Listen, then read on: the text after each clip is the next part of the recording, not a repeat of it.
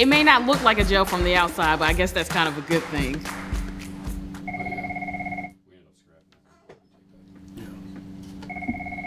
Lieutenant. So you leave me for good, huh, sir? Yeah, I'm leaving you.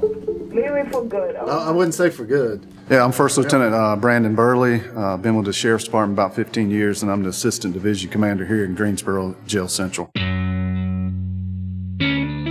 So Guilford County is a unique uh, county in, in, the state of North Carolina. We're the only county with two uh, court systems.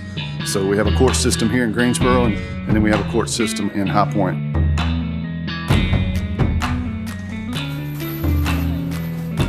You know, the struggle is real across the, across the country, uh, especially here in North Carolina. Um, with, with staffing being the way it is, we've had a significant drop off in staffing levels over the last couple of years. I've been here about a year and a half. The staffing shortages started pretty much as soon as I got here. So all I've known is just mandatory overtime. The beginning of my two years, we weren't where we needed to be staffing wise, but it just became worse once the pandemic started. Being short-staffed affects affects us as just like regular pod detention officers. Is that we we have to cover like not just our pod, but we have to cover up to like two to three other ones also at the same time. And then something happens because I've missed my round.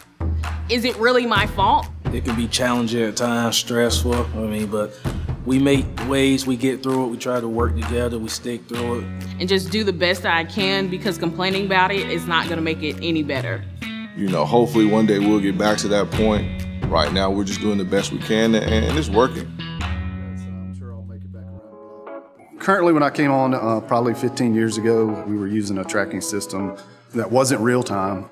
You had to download the system on a monthly basis uh, to catch the shifts to try to see where your compliance rating was. It was just little metal things on the wall that we had to like slam into the wall basically.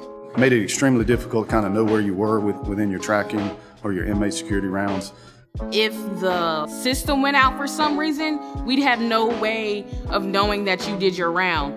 So it's almost like you're immediately taking the blame whether you did your round or not. There was no alert to go off. There was no way of me remembering that I had to do this round, even during hectic situations. So if you didn't write it down or if you had too much going on, you forgot to write it down when you did it, you just didn't really know when the next one was due. So you were just like, all right, I'd do another one. and so we're really looking for something different. I really wanted to see if we could figure out some kind of real-time situation. Luckily got hooked up with Guardian RFID. Since onboarding with Guardian RFID, it's been a real uh, game changer, at least from a, from a compliance standpoint and legal standpoint. With the Guardian system, it's easier when we're short-staffed in order to make sure that rounds are being done because you can see physical rounds that need to be done, how much time you have for them to be done. It takes a lot of the pressure off knowing that your rounds are still getting done and you don't have to think about it.